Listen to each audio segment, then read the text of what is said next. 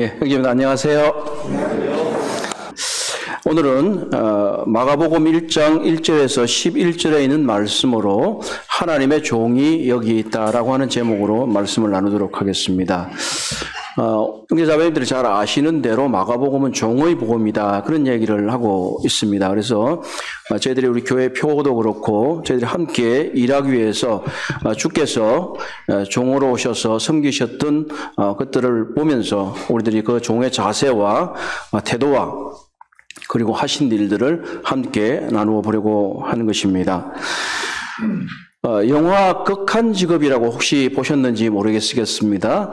어, 보면 어, 다들 안 보시긴 얼굴인 것 같아요. 그러니까 워낙 경건하게 생활하시니까 영화 같은 거 전혀 안 보시니까 어, 그러실 수 있는데 어, 유승용 배우가 주연을 주연을 했어요. 어, 이분이 이제 어, 뭐 경찰서 마약반 형사들이 거물 이 마약범을 잡아야만 되는데 뭐가 잘 안 된다는 거죠. 그래서 지키고 있다가 어떤 통닭집을 들어갔는데 거기 보니까 통닭이 너무 안 팔리는 거예요. 그래서 자기들이 시켜 먹고 막 감시하고 있는데 어, 이, 저 사람들을 감시하자면 여기가 굉장히 좋은 거점이 되겠는 거예요. 어, 그래서, 어, 그래서 어떻게 할까 생각하다가 마침 그 통닭집 주인이 이제 가게를 내놓는다는 얘기를 듣고 이제 그곳을 이제 자기들이 인수를 합니다. 그래서 어, 그곳에서 직접 다 이 통닭을 이제 구워서 팔면서 어, 마약범을 건거하는 그런 작전들을 이렇게 하고 있는데 제목이 극한 직업인데 저는 제 그 영화를 보면서 어, 뭐 전직도 있지만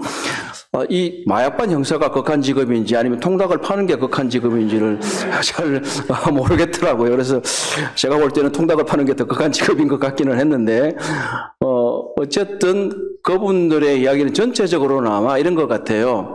어, 자기가 마약반 형사기 때문에 마약 사범들을 잡기 위해서 별별 일을 다 해야 된다. 아, 이런 얘기 같아요. 영화 중간중간에 보면, 어, 그 마약범들을 근거하기 위해서 줄도 잘 못하는데, 어, 어떤 청소하는 분들처럼 줄을 타고 내려오다가 어, 줄이 잘 안 풀려가지고 뭐 앞으로 꼬꾸라지기도 하고 뭐 그런 것들을 보니까 어, 굉장히 이제 극한 직업이다 하는 생각을 하게 됐습니다. 이분들 덕분에 수원 통닭갈비가 굉장히 유명해졌어요. 이제 원래는 수원은 왕갈비가 유명한데 이 영화 덕분에 통닭을 어, 이렇게 많이 사 먹게 됐다. 그래서 뭐 명소도 생기고 어, 이렇게 했어요. 그리고 이제 EBS에도 보면 이제 교육 프로그램에서 어, 극한 직업이라는 어, 프로그램이 있습니다. 그래서 저도 그걸 보면서 야 세상에 참 별별 어, 참 희한하고 위험한 직업들이 많이 있구나 그런 생각을 하게 됐는데. 연탄 그 보면 이제 지금은 이제 겨울이 다 지나갔지만 보면 정치인들이나 또 사회 봉사하는 분들이 어, 때만 되면 어, 사람들에게 이렇게 멀리 이제 저기 운동 수단이 없는 분들한테 연탄을 이렇게 날라준다고 막 줄을 서가지고 그렇게 날라줘요. 저는 제 생각에는 왜 저렇게 할까? 그냥 어 뭐 큰 거 하나 이렇게 통이나 아니면 이렇게 해서 팀 좋은 사람이 날르면 될 텐데 뭐 줄을 그렇게 열심히 서가지고 하나 아, 그런 생각을 했어요. 근데 그런 분들은 보이기로 할 실제로 물론 봉사하시는 거긴 하지만 그분들은 얼굴이 보이잖아요. 그런데 연탄을 그러니까 석탄을 만드 연탄을 만드는 석탄을 채굴하는 사람들이나 실제 연탄을 만드는 사람들은 별로 그렇게 나오지를 않아요. 실제 이 석탄을 채굴하고 연탄을 만드는 사람들은 굉장히 극한 직업이에요. 어려운 직업인 것이죠. 그런데 이런 분들은 조명을 받지 못해요. 근데 한편으로 말씀을 준비하면서 생각한 것 중에 하나가 이게 우리 본문에 침례 요한이 나오고 침례자 요한이 나오고 예수님이 나오시잖아요. 야, 침례자 요한이 굉장히 극한 직업이었다. 이런 생각을 좀 하게 됐습니다. 왜냐하면 본문에 나오는 대로 어, 이 침례 요한은 이 약대틀, 낙타 틀로 된 옷을 입고 그냥 가죽끈으로 대충 묶고 먹는 것도 뭐 석청 이런 거 먹고 낙 메뚜기도 먹었어요. 지난번에 이제 어떤 어, 우리 교제하다가 이제 메뚜기 먹는 얘기를 좀 했어요. 그랬더니 메뚜기를 먹냐, 여치를 먹냐, 뭐 이런 얘기를 했어요. 그래서 어떤 자매님이 여치는 안 먹는다, 메뚜기를 먹는다, 뭐 이런 얘기를 하시더라고요. 이 침례자 요한이 굉장히 극한 직업이었다. 예언을 하면서 광야에 살았죠. 옷도 입는 것도 남루했죠. 먹는 것도 그랬죠. 알아주는 사람 없죠. 이렇게 해서 오늘날 물론 젊은이들 이런 것들 때문에 오히려 낭만적이다 이런 생각을 불 이렇게 워낙 요즘 특이한 것들이 많으니까 야 저기 멀리 나가서 살면서 저 폼나게 가죽 옷 같은 거 입고 있으면 더 좋지 않을까 아, 이런 생각을 하는 분들이 있을 수도 있지만 그건 꿈입니다. 그게 살아보면 정말로 힘든 것입니다. 그러면 예수님은 어땠을까 한번 생각해 봤어요. 예수님도 참 극한 직업이었다. 하는 생각을 좀 했습니다. 예수님께서 뒤에 이제 마가복음을 보게 되면 이제 어부들을 불러서 제자를 삼잖아요. 야, 이 고기 잡는 어부를 3년 반 동안 교육시켜서 이 제자가 되게 하다 얼마나 극한 직업이었을까. 말이나 또 잘 들었나면 그것도 아니에요. 음, 때때로 말썽도 부리고 엉뚱한 얘기하고 어, 이렇게 했잖아요. 그리고 예수님은 여행을 굉장히 많이 하셨어요. 내내 여행하셨어요. 잠도 잘 못 주무시고 그 사마리아 여인의 비유 같은데 보게 되면 얼마나 피곤하셨는지 제자들이 먹으러 먹을 거 사러 가는 동안에 그냥 우물에 주저앉아 계신 것을 우리가 볼 수가 있는 것입니다. 하나님의 아들 예수 그리스도가 이 땅에 종의 모습으로 오셔서 온갖 수치와 모욕을 당하시고 고난과 풍파를 겪으면서 구주의 사명을 완수하셨습니다. 이 마가는 바로 이러한 예수 그리스도의 모습을 묘사하기 위해서 다른 복음서, 특히 요한복음에 보게 되면 아, 예수님의 말씀을 붉은 글씨로 표시하는 성경을 가진 분들이 보시면 요한복음은 매우 많은 분량이 거의 붉은 글씨로 표시되어 있는 것에 반해서 이 마가복음은 예수님의 말씀은 별로 나오지를 않아요. 주로 예수님은 행동하는 모습으로 섬기는 모습으로 나오고 있는 것입니다. 예수님은 고통받는 사람들을 섬기기 위해서 또 세상의 죄를 위해 죽기 위해서 보내진 하나님의 종으로 드러납니다. 그렇기 때문에 마태복음에서는 예수님의 족보를 길게 기록하고 있고 누가복음도 예수님의 인자 되심을 말씀하기 위해서 족보를 엄청나게 길게 기록하지만 이 마가복음에서는 전혀 예수님의 족보가 나오지 않습니다. 왜 그럴까요? 예수님은 종이기 때문에 족보가 필요 없는 것입니다. 종이 족보 있다는 얘기 들어보셨습니까? 없잖아요. 그렇기 때문에 예수님은 족보도 기록이 되어 있지 않습니다. 예수님은 계속해서 움직이십니다. 우리가 갖고 오늘 본문에도 곧이라는 단어가 나와요. 10절에 보면 곧 이런 말이 나오는데 곧 적시로 이런 단어가 신약 성경에서 59번 59회가 나오는데 그 중에서 마태복음에서만 이 단어가 40회가 쓰여지고 있습니다. 그만큼 이 마태, 마가는 예수님이 적시적시 움직이면서 계속해서 움직이 활동하시는 것을 잘 묘사하고 있기 때문입니다. 마가복음의 주제 구절을 따, 어, 따진다 말한다면 이렇게 말할 수 있을 것입니다. 마가복음 10장 45절에 인자가 온 것은 선김을 받으려 함이 아니라 도리어 섬기려 하고 자기 목숨을 많은 사람의 대속물로 주려 함이니라고 말씀하셨습니다. 그렇습니다. 조금 전에 계속해서 말씀드린 대로 예수님은 사람들의 종이 되시기 위해서 이 땅에 오셨습니다. 오늘 본문은 이러한 예수 그리스도의 종되심과 그리고 예수 그리스도를 미리 예고하고 그를 섬기기 위해서 온 또 다른 종 침례자 요한에 대해서 말하고 있습니다. 우리는 이 침례자 요한과 우리 주 예수 그리스도의 종되심을 통해서 우리는 어떠한 종의 모습을 가지고 하나님을 섬겨야 하는지를 오늘 배워보려고 합니다. 먼저 1장 1절에서 4절은 하나님의 종은 복음의 길을 예비한다라고 말씀하고 있습니다. 하나님의 종은 이 복음의 길을 예비한다고 말씀합니다.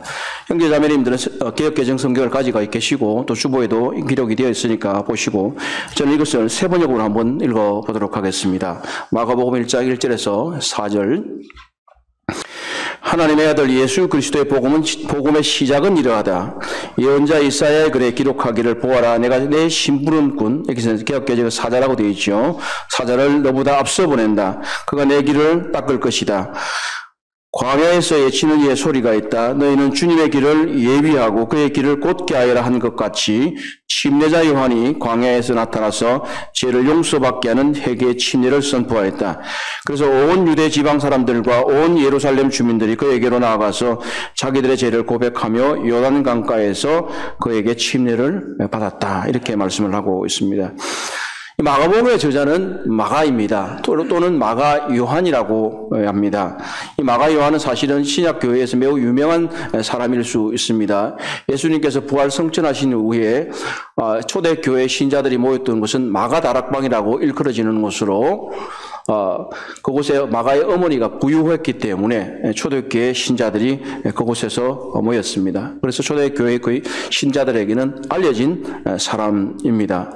그리고 마가복음에 직접적으로도 그에 대한 묘사가 나오는 걸 볼 수가 있는데 그분의 이름은 나와 있지 않지만 자신이 경험했기 때문에 자신만이 알 수 있는 마가복음 14장 51절에서 52절에 예수님이 잡히실 때에 어떤 청년 하나가 벌거벗고 헛이불을 뒤집어 쓴 채로 도망갔다. 좀 창피하잖아요. 어, 그러니까 이름도 쓰지도 않았는데 자기만 할수 있으니까 그이 마가가 어, 맞다고 보통 얘기들을 합니다.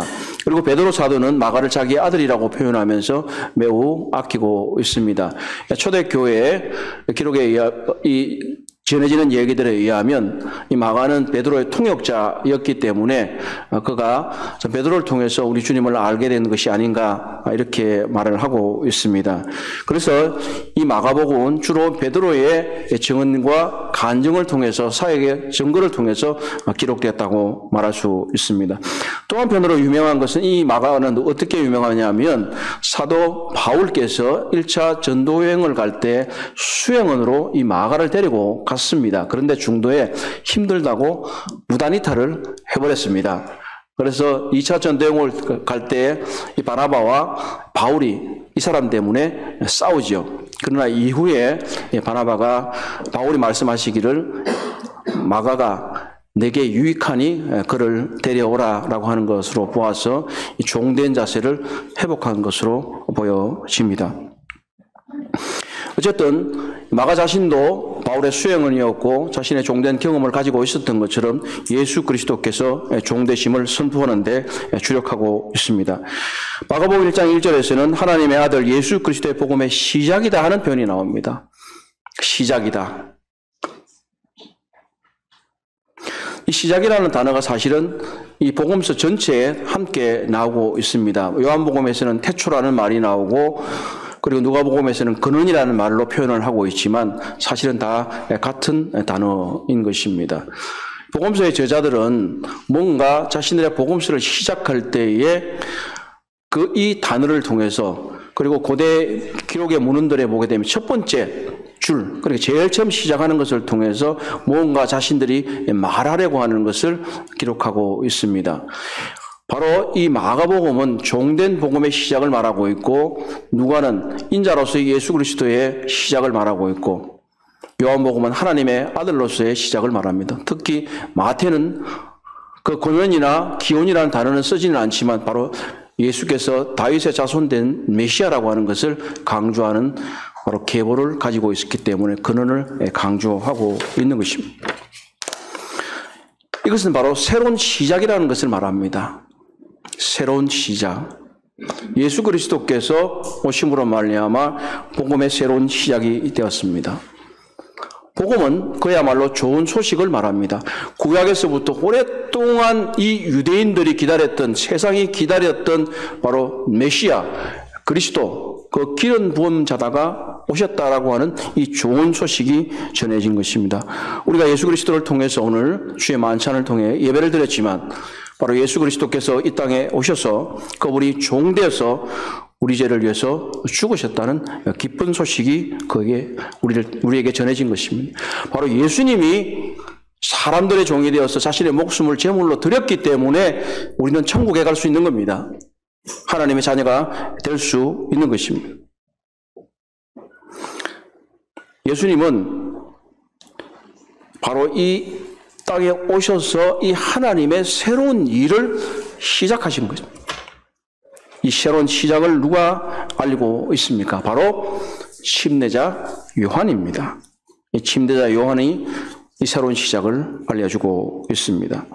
그리고 두 번째로는 이 시작이라는 말이 첫 번째로는 바로 하나님이 새로운 일을 시작하고 있다면 두 번째로는 오늘날에도 이것이 계속되어야 된다고 하는 것입니다. 시작이 있으면 중간이 있고 끝이 있지 않습니까? 이 마가복음을 통해서 계속해서 우리 주님께서 복음을 전하신 이야기가 그리고 마가의 마가와 그의 동료들과 이런 모든 사람들이 계속해서 복음을 전하고 있는 것처럼 오늘날에도 우리는 이 예수 그리스도로부터 시작된 복음을 계속해서 전해야 된다고 하는 것을 말하고 있습니다. 이것은 우리 주님이 오신 끝날까지 끝날까지 계속해서 이루어져야 하는 것입니다.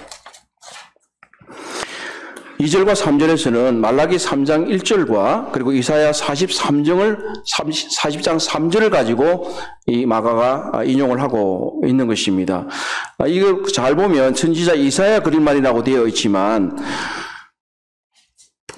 이것은 2절은 어, 말라기를 인용한 것이고 그리고 3절은 이사야를 인용한 것입니다. 그런데 대체로 신약 성경의 저자들이 하나님의 말씀을 인용할 때 주된 말씀의 저자를 그냥 하나로 묶어서 인용을 하기 때문에 이것이 성경이 잘못되어 있는 것은 아닙니다. 여기서 중요한 것은 2절과 3절에 다 있는 것처럼 준비하라고 하는 구절 단어입니다. 준비하라. 사자를 미리 보내서 준비하게 한다는 거죠. 하나님의 아들이 오실 때에 그 종을 하나님의 종 을 예비하기 위해서 그 다른 종이 먼저 가서 예비하고 한다는 거죠. 고대에는 왕이 어떤 왕국을 시찰하거나 이렇게 할 때는 종이 미리 갑니다. 종이라는 얘기 그냥 노예만을 말하는 게 아니라 그 일을 수행하는 사람이 먼저 가서 준비를 하는 거죠. 형제 자매님들도 직장에 계실 때 이런 경험들을 하시는지 모르겠습니다. 뭐 윗사람이 온다든지 어떤 행사를 가게 되면 먼저 가서 준비를 다 해놓잖아요. 먼저 가서 어, 준비를 해놓고 오십시오 이렇게 하고 교회도 사실은 어떤 면에서는 종들이 먼저 와서 준비를 하고 있어요. 어, 종들이 준비해놓고 나면 주인들이 오셔서 앉아서 예배를 드리시기도 해요. 그와 같이 침례자 요한은 먼저 길을 예비하기 위해서 왔던 것입니다. 그런 주의 길을 곱게 하라고 하는 명령을 받았습니다. 그런데 중요한 것은 이 주의 길을 곱게 하는 것 어떤 걸 했냐는 우리가 한번 볼 수가 어, 보기를 원합니다. 사절이 보시면 어, 제가 이제 침례자 이렇게 단어를 쓰고 있죠. 우리 이제 기억 개정은 세례라고 되어 세례 요한이라고 되어 있고 밑에 각주를 보면 어, 침례 요한 이렇게 되어 있는데 사실은 사람을 침례라고 하는 건 옳지는 않아요. 어, 다른 영어 성경이나 이런 번역들에도 요한이 침례를 준 분이기 때문에 침례자 또 우리들이 구별하고 있는 대로 이 세례는 물을 그냥 뿌리는 것이 아니라 담기는 것이기 때문에 잠기는 것이기 때문에 침례 자 요한이 맞습니다. 세 것은 어, 그렇게 세례자 요한이라고 번역을 했는데 또 밑에 침례자라고 했기 때문에 그렇게 말하는 것이 좋을 것입니다. 침례자 요한이 광야에 이르 제3을 받게 하는 회개 세례를 전파했다 이렇게 말하고 있습니다. 자, 우리는 이게 때때로 오해를 날 수가 있는데 세례를 받으면 죄를 사함받을 수 있는가 하는 것입니다. 그러나 이 표는 그러한 말이 아닙니다. 세례를 받는다, 아, 침례를 받는다고 해서 죄를 다 용서받는 것은 아닙니다. 여기는 오늘날 우리가 받는 신자의 침례와는 다른 것입니다. 이 침례자 요한은 예수님의 길을 예비하는 사람이었고 길을 곱게 하는 사람이었기 때문에 바로 예수 그리스도가 오시기 이전에 사람들이 회개를 통해서 믿을 수 있도록 한다고 하는 것입니다. 회개를 통해서 믿음을 가질 수 있도록 한다고 하는 것입니다.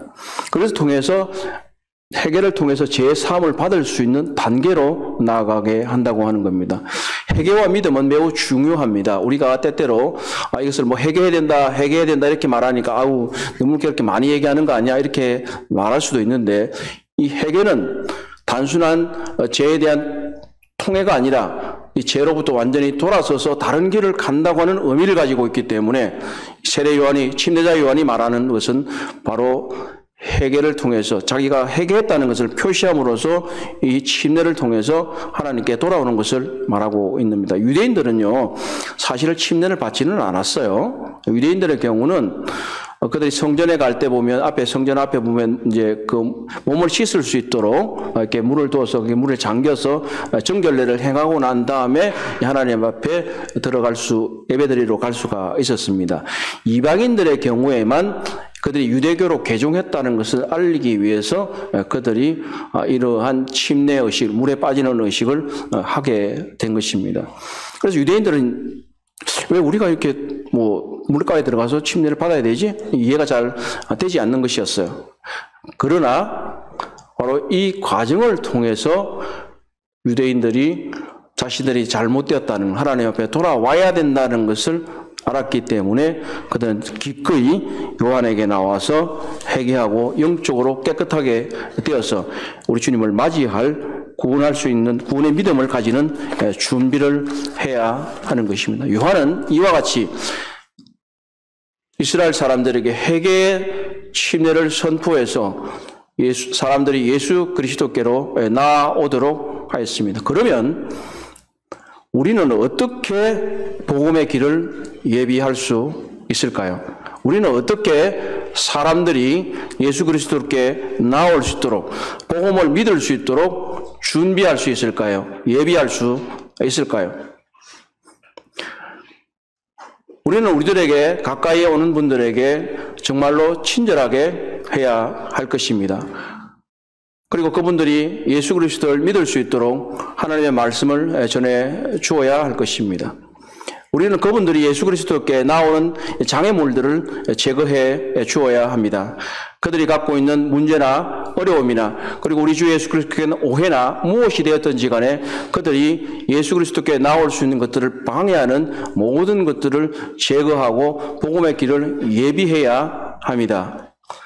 그리고 우리는 그들이 예수 그리스도를 아직 알지 못하는 분들이 예수 그리스도를 믿기 위해서는 자신의 이전의 행실을 회개하고 하나님께로 돌아서야 된다는 것을 분명하게 잘 말해 주어야 합니다.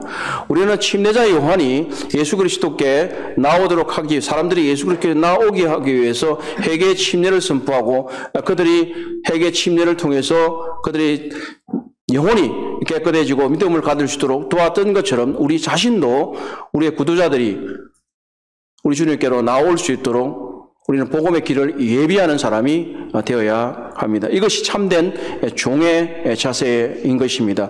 종이라면 우리는 바로 주인의 뜻을 따라서 주인이 돋보이도록 주인이 하시는 일이 올바르게 비춰지도록 올바르게 나타나도록 하는 것이 우리들의 일이기 때문에 먼저는 우리가 예, 복음의 길을 예비해서 주께로 나올 수 있도록 길을 만들어 주는 것이 우리들의 아, 일입니다.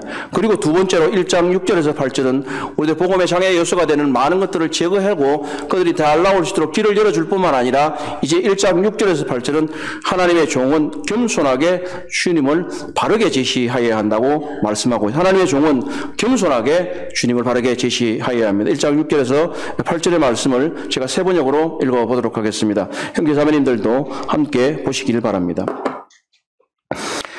요한은 낙타 토로스를 입고 허리에 가죽띠를 띠고 메뚜기와 덜꿀, 여기 이제 석청이라고 표현되어 있는 개혁개정인데 덜꿀이라고 말합니다. 덜꿀을 먹고 살았다. 그는 이렇게 선포하였다.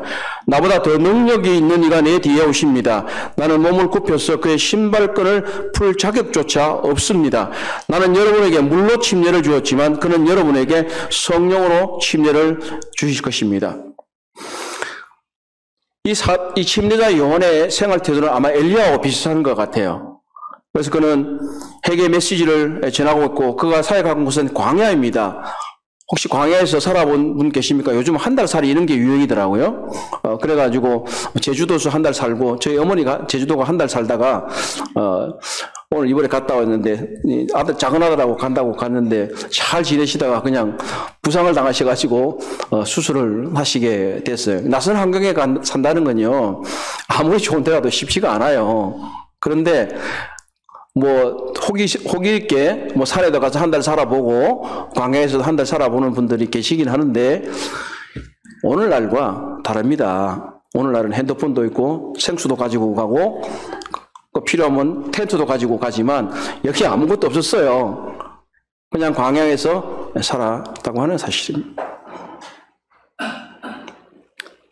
한편으로 이스라엘의 조상들이 광야에서 40년 동안 지난 것을 상기시키면서 오히려 너희들이 이 광야보다 너희들의 마음이 더 광야 같다. 마음이 더 광야 같다. 너희들 이곳에서 벗어나야 한다. 영적 광야를 벗어나서 예수님을 따라야 된다고 말하고 있는 것입니다. 이전에 이스라엘 백성들이 여호수아를 따라서 광야를 벗어나서 그들이 가나안 땅으로 들어간 것처럼 여호수아의 신약적인 이름인 예수를 따라서 이제는 영적인 가나안으로 들어가야 한다고 이제 침례자 요한은 말하고 싶은 것입니다. 요한은 정말 예수님을 소개할 때에 있어서 조심했습니다. 절대로 자기가 예수님보다 돋보이려고 하지 않았습니다. 그는 정말로 예수님보다 자신을 스스로, 원래보다 낮은 것이지만 스스로 얼마나 낮추고 있는 건지 모릅니다. 나보다 더 능력이 있는 이가 내 뒤에 오십니다. 나는 몸을 굽혀서 그의 신발끈을 풀 자격조차 없습니다. 혹시 사랑하는 형제 자매님들께서는 사랑하는 가족들 또 좋아하는 분들을 위해서 신발끈을 풀어주시거나 매주시거나 한 적이 있습니까? 음. 근데 이분은 신발끈을 풀 만한 위치도 나는 안 된다. 이렇게 말해. 예전에 유대교 랍비들의 경우에 제자들이 노예, 신발 끄는 걸 푸는 걸 말고는 노예처럼 모든 것을 섬겼다고 해요. 그러니까 신발끈을 푸는 것도 이게 상당한 위치를 필요로 하는 것 같아요. 근데 이 사람들은 그렇지만 심내자 요한은 나는 신발끈을 풀 수도 없다. 얼마나 내가 낮은 사람이냐. 이렇게 말하면서 주님을 높이고 있습니다. 자, 이것은 자는 나는 메시아가 아니다. 나는 그리스도가 아니다. 이렇게 말하고 있습니다. 예수님을 그분은 침례자가 나보다 더 큰 능력이 있는 분이다. 이렇게 선언하고 있어. 더 큰 능력이 있는 분이다. 더 능력 많으신. 요한은 그저 자신이 거울 역할을 하고 예수님이 저기 있다. 요한복음에서도 보면 보라 세상 죄를 지고 한 어린 양이로다 하나님의 어린 양이로다 이렇게 가르치는 것이에요. 사람들이 여러 차례 그에게 네가 메시아냐 이렇게 물었지만 나는 아니다. 아, 이렇게 말을 하고 있는 것입니다. 우리 자신도 예, 그렇습니다. 우리는 메시아가 아니고 우리는 높은 자도 아닙니다. 그저 우리는 주님의 종입니다. 제자로서 우리는 이 침례자 요한의 태도를 본받아야 하는 것입니다. 그리고 요한의 물 침례는 그저 회개의 제고벽의 예형적 상징일 뿐이었습니다. 그렇기 때문에 자기가 하는 이 물 침례는 회개 침례는 아무것도 아니야. 나는 여러분들에게 회개를 통해서 참된 하나님의 아들 메시아에게 나아가는 길을 제시하는 것 뿐이야.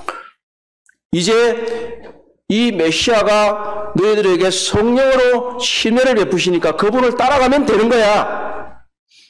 이렇게 말하고 있는 것입니다.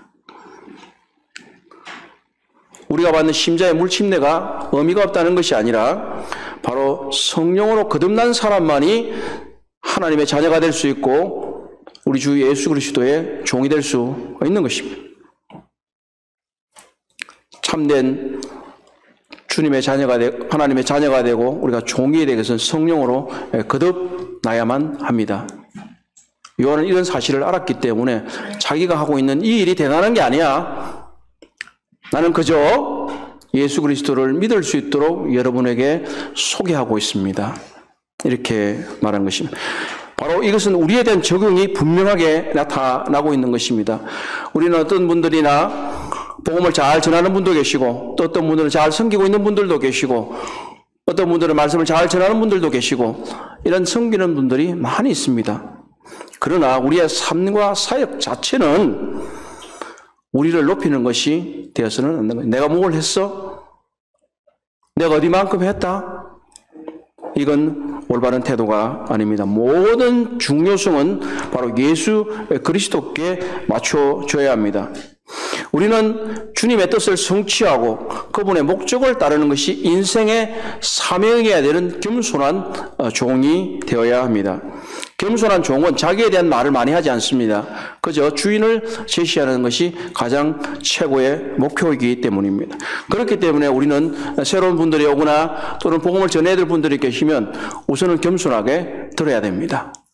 잘 들어야 됩니다. 그분들이 어떠한 어려움을 갖고 계시는지, 우리 주님께 나오는데 뭐 어떠한 문제점을 갖고 있는지 예, 잘 듣고 어떠한 처방을 제시할 건지를 생각해 보아야 하는 것입니다.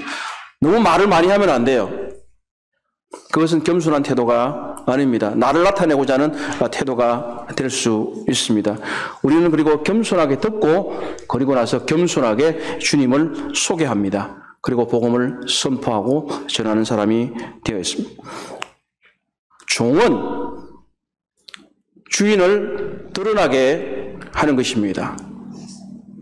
우리는 예수님의 겸손한 종으로서 우리가 드러나게 하는 것이 아니라 우리 주님 예수 그리스도가 드러나게 해야 됩니다. 그러므로 우리는 항상 겸손하게 허리를 굽히고 그리고 그분의 말을 길을 열어서 듣고 마음을 당해서 섬기는 것이 올바른 종의 자세이고 복음의 길을 예비하는 사람의 자세이고 올바른 복음을 제시하는 종의 자세라고 말할 수 있습니다.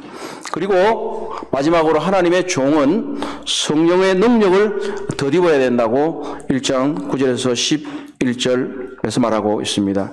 하나님의 종은 성령의 능력을 덧입어야 합니다. 우리 함께 1장 9절에서 11절을 읽어보도록 하겠습니다. 1장 9절에서 11절 그때 시작 그때 예수께서 갈릴리 나사렛으로 와서 요단강에서 요한에게 침례를 받으시고 곧 물에서 올라오실새 하늘이 갈라짐과 성령이 비둘기 같이 자기에게 내려오심을 보시더니 하늘로부터 소리가 나기를 너는 내 사랑하는 아들이다 내가 너를 기뻐하노라 아멘.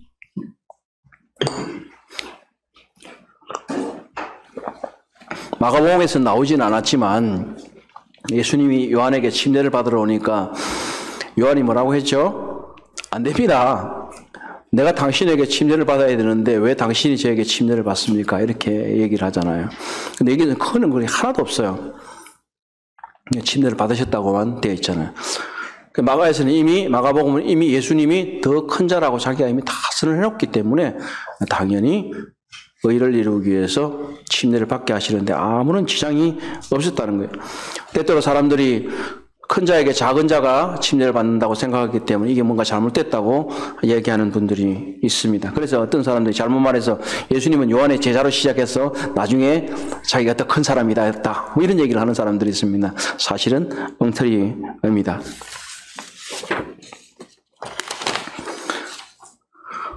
예수께서 침례를 받으신 것은 바로 사람, 하나님의 아들이 사람이 되셔서 그의 사역을 알리는 시작을 알리는 신호탄이 되었기 때문이기 때문입니다.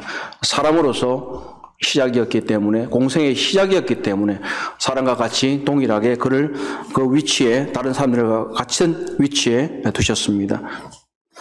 그러나 다른 사람들의 침례와는 달리 바로 예수님께서 침례를 받으실 때 성경은 뭐라고 말하겠습니까? 하늘이 갈라졌다. 하늘이 갈라졌다.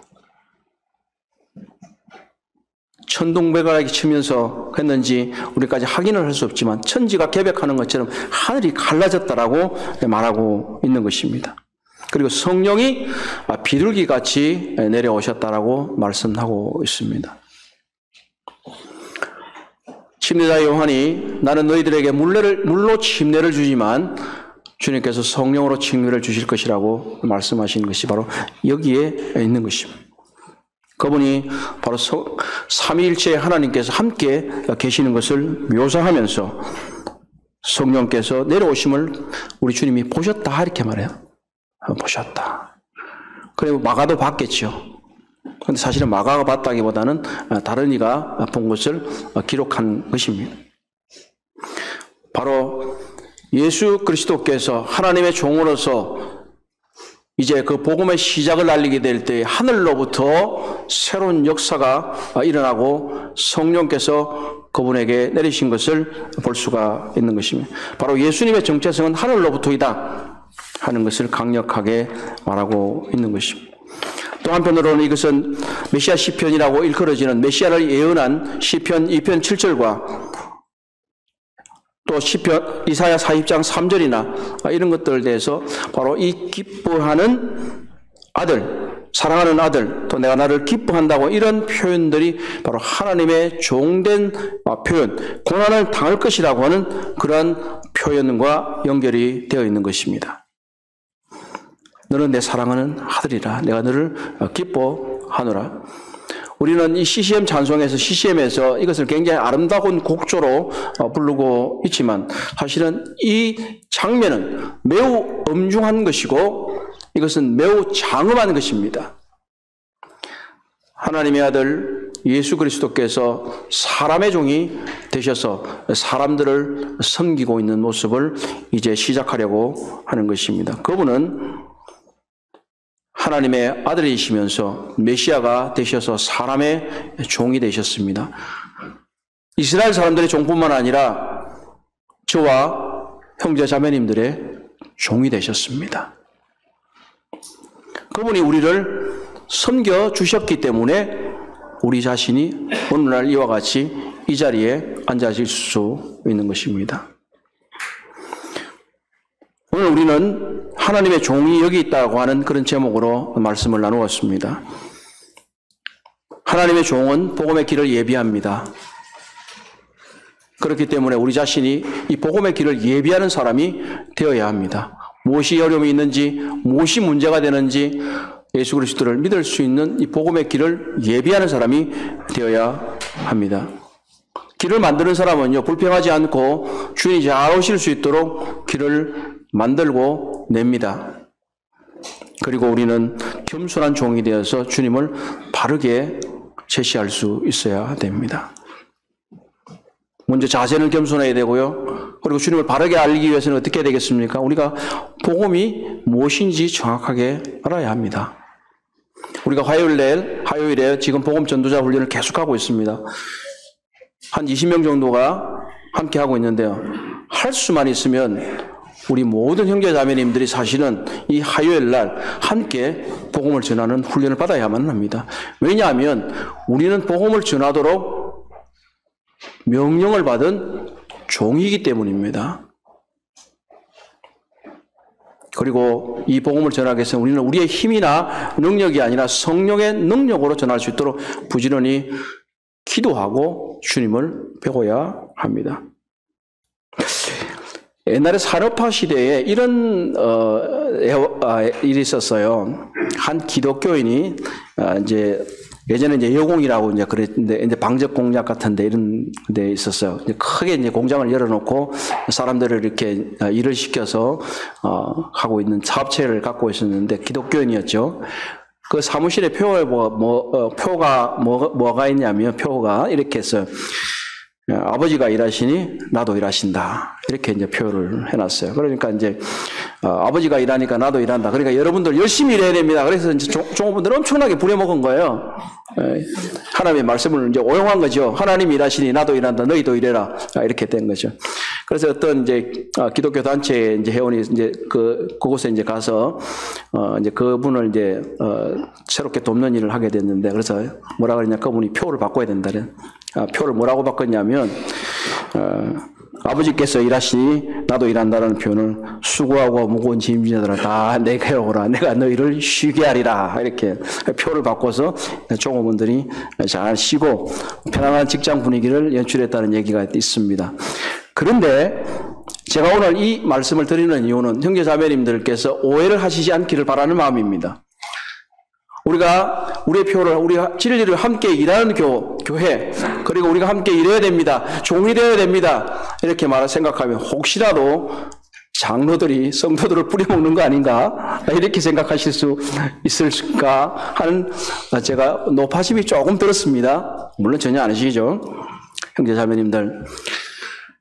잘못된 어떤 사상을 가진 기독교인의 이러한 표가 아니라 하나님의 말씀은 전혀 다른 것입니다. 우리는 하나님께서 자신의 아들 예수 그리스도 정말 하나뿐인 독생자 아들 예수 그리스도를 우리를 섬기기 위해서 사람의 모습을 가지고 이 땅에 오셨고 사람의 종이 되어서 이 마가복음에 나오는 것처럼 그분은 잠도 주무시지 않고 피로를 무릅쓰고 온, 얼마나 많은 거리를 숱하게 여행을 하시고 사람들에게 모욕받고 비방받고 주무시지도 못하고 그리고 끝끝내는 그분이 사람들에게 수치한 모욕 가운데서 자신의 몸을 십자가에 매달려서 그 몸이 찢겨지고 피를 흘려서 우리를 위해 돌아가셔서 그분은 하나님께서 그에게 하라고 하신 종으로서의 사명을 완수하셨습니다.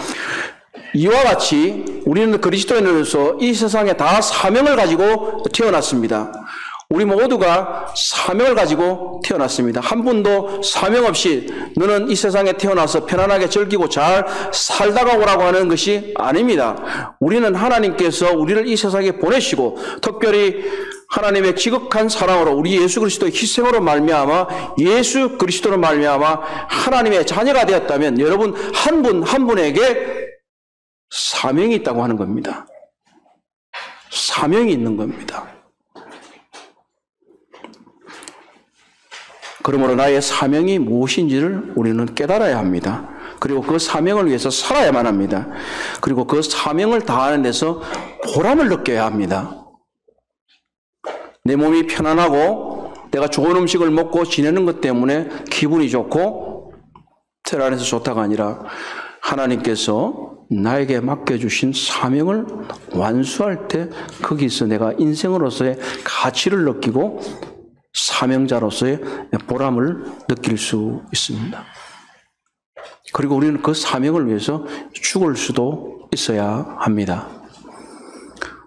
때때로 장송곡 비슷한 노래인데 나를 보내서 소하는 그런 찬송이 있어요. CCM 있는데 그 성교 열심히 잘 가겠다고 내가 여기 있는 나를 보내서 쏙 울면서 찬송을 불러요.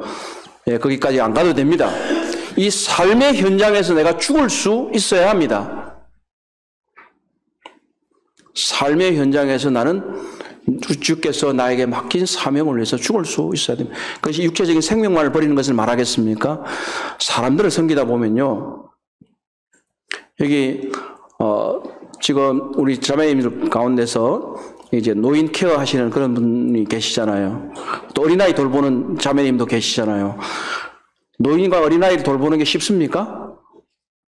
아, 좀 어려울 것 같아. 어제 TV를 잠깐 보니까 노인 두 분이 자기 그 손녀 둘이를 보면서 이렇게 일을 하면서 있더라고요. 야, 저거 힘들겠다. 나는 어떡하지 나중에? 뭐 이런 좀 생각을 좀 했는데 자존심 다 버려야 되고요. 그렇잖아요. 애들 앞에서 온갖 재롱 다 들어야 되고